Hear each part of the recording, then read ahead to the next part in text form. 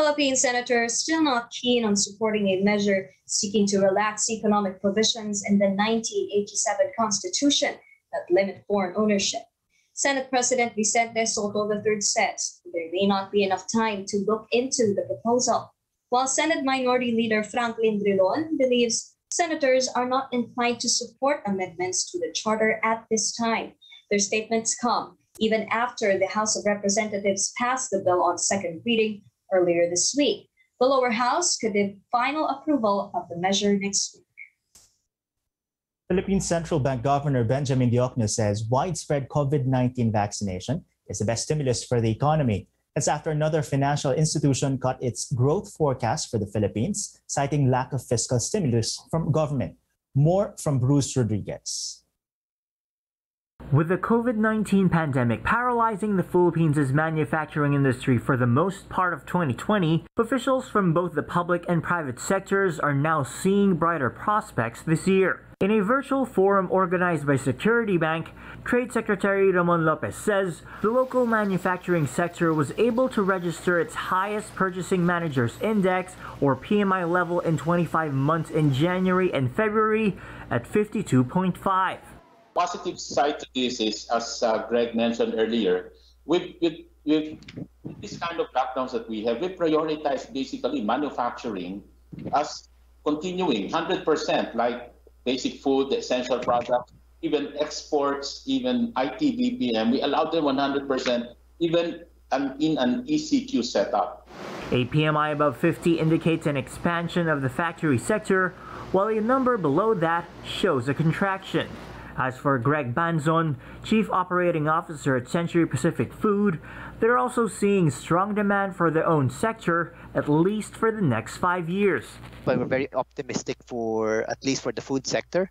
Um, and as you've seen, uh, in terms of personal care and uh, even on pharma products, um, you're seeing uh, maybe more of stability and slight rebound, uh, given mm-hmm. that consumers feel a little bit more uh, uh, confident. While the sentiment for manufacturers look bullish, another financial institution has cut its growth outlook for the whole economy this 2021. From an initial forecast of 7.5 to 9.7%, Sun Life Asset Management now sees growth hitting between 3.9 to 7.1%. It attributes this to the return of tighter quarantine restrictions, as well as a recent spike in the daily cases of COVID 19. Well, I think there's really been a clamor of uh, fiscal stimulus from the government, and I think that's the one that's lacking.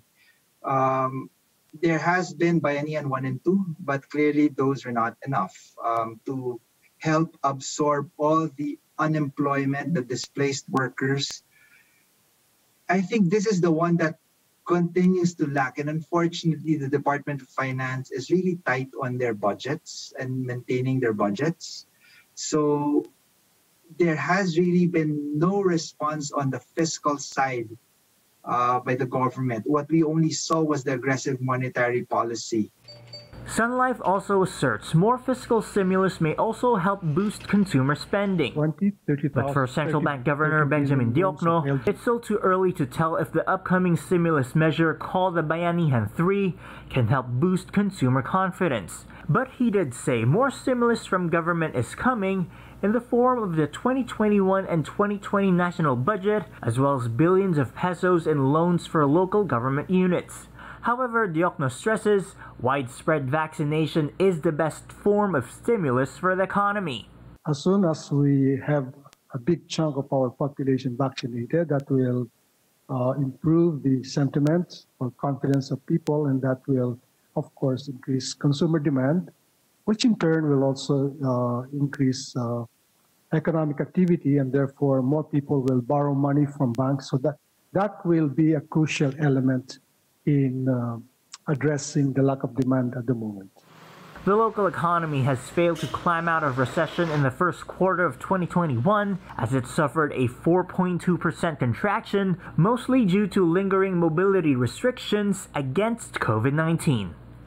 Bruce Rodriguez, ABS CBN News.